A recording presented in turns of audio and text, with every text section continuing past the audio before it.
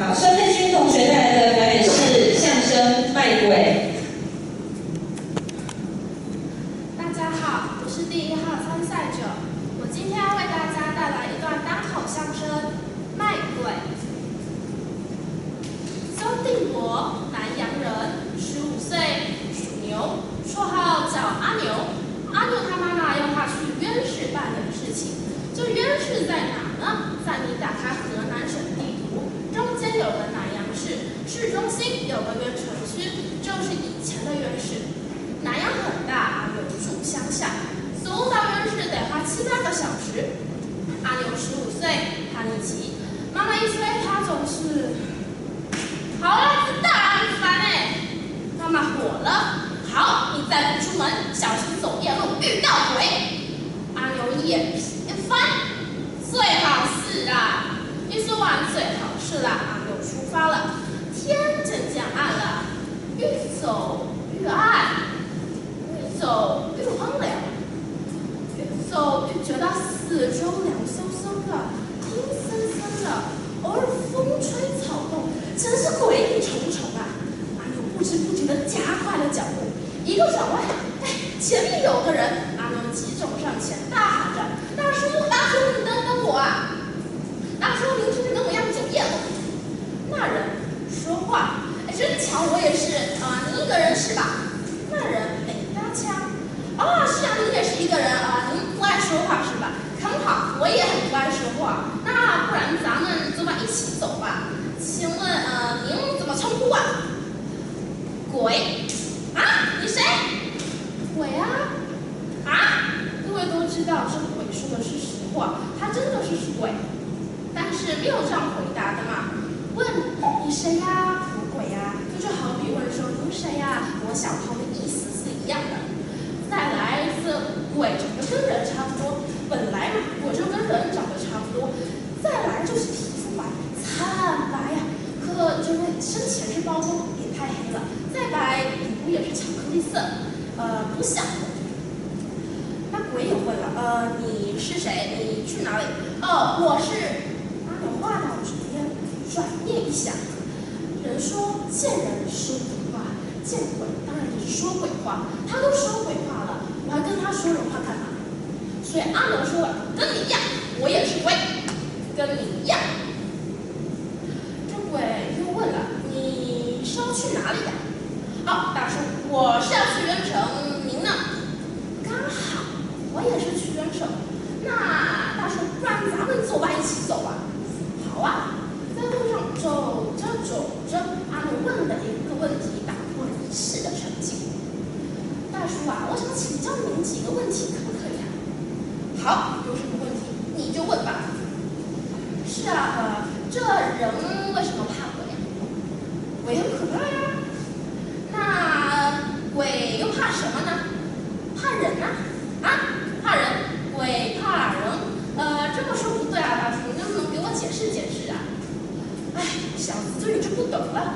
我们鬼呢，不是怕人，而是怕人身上的一种东西，是口水。哪怕你沾到一点点，立刻变出声啊！所以哪里有说相声的，就别往那里去。哪里那里有相声的观众啊，一听啊一乐，噗呲一声，口水都飞了出来。那这样我们还有戏唱吗？对不对？哎，各位想不到吧？相声居然还有驱鬼的方向。走着走着，过了河就要准备进冤市了。阿牛弯下腰，卷起裤管。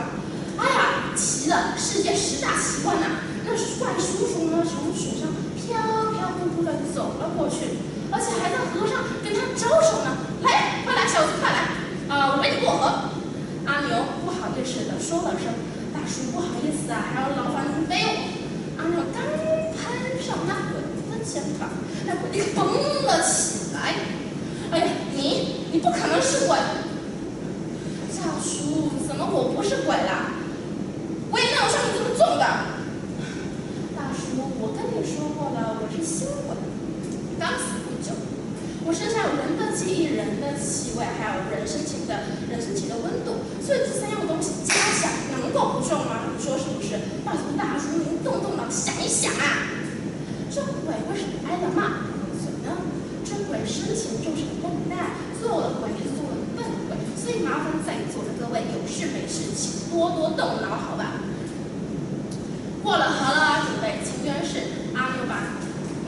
叔叔把阿牛给放下来之后，阿牛可气地和那叔叔讲了：“大叔啊，多谢你帮我过河，那不然换我背你如何啊？”那鬼说了：“哎呦，你这小子还挺有良心的嘛！”阿牛刚弯下腰，那鬼攀了上来之后，哎呀哎呀，奇了奇了！阿牛就觉得气一追凉，真的是鬼，好轻好轻！你知道鬼有多重吗？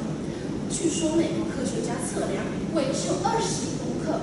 德国科学家也说了，鬼的重量呢，就是人生前的体重除以人生前的速度，再乘上零点六一八的二次方。请问这样够轻了没有？元成就在不远处了。那怪大叔拍了拍阿牛的肩膀，哎，小子，让我下来，让我下来，啊，下来！阿牛在心里暗暗说道：“大叔，对不起，我不是有意的，但是谁叫你是鬼呢？”阿牛吐出，往那鬼身上刷了一身的口水，我呸你口水，我呸你口水！阿牛使劲在这里喷口水，那背上呢就觉得好像有东西，把东西摔下来一看，才发现是一只羊。于是阿牛就把那只羊牵到市场卖了个好价钱。从此以后，人们便传说定湖卖肥得钱千五。这个故事对我们后世的影响非常的大。为什么还要说给大家听呢？这就是人说的“人心险恶，胜鬼一筹”。也有人告诉我们，这故事是告诉我们，人道不同不相为谋。而我认为它最大的功效就是启发我们人们一种既简单又效果好呢，然后呢又十分达到效果的一个战队，叫做口水战。我的表演到此结束，谢谢大家。